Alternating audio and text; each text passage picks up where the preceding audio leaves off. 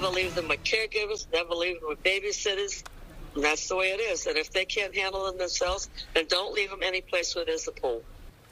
Now at 5, a child tragedy now under investigation in San Jose after two children drowned at a daycare that has a backyard pool. A third child pulled from the pool is expected to survive. Good evening. I'm Julie Haener. And I'm Mike Mibach, KTVU reporter Henry Lee, live tonight in the South Bay with the very latest on the story. Henry?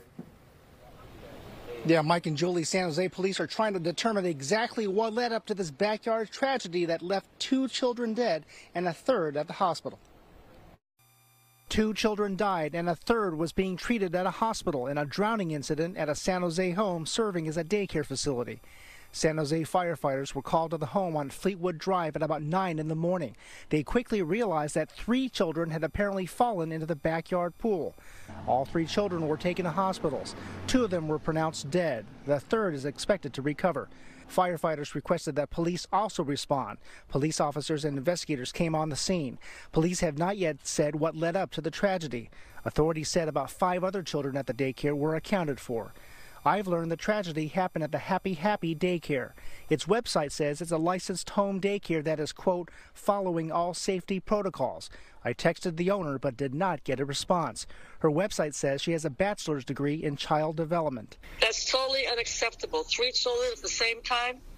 What the heck? Where, where, where were the parents or the caregivers? I spoke to Nadina Riggsbee, president of the Drowning Prevention Foundation. In 1978, her two year old drowned in her Danville home while under the care of a babysitter. They should never leave their children any place where there's any form body of water at all, unless they're there, hands on, and eyes on. Now, San Jose police are investigating this along with the Santa Clara County DA's office. Alive in San Jose, Henry Lee, KTVU, Fox 2 News. Hey, Henry, do we know how many people are actually working at that facility and whether or not there is a, a gate around the pool at least here?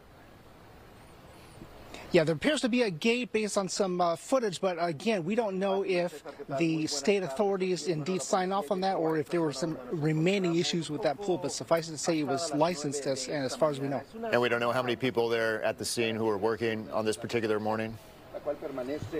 Correct. We don't know who was involved, how many there were, and exactly how many children each was responsible for, and uh, what the parameters were. Tragic story there in San Jose. Henry Lee live for us tonight. Henry, thank you.